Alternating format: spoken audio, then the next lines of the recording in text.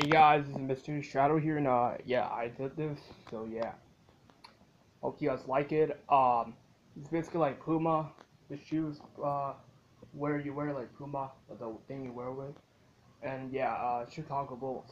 If you guys are a fan of that, so yeah.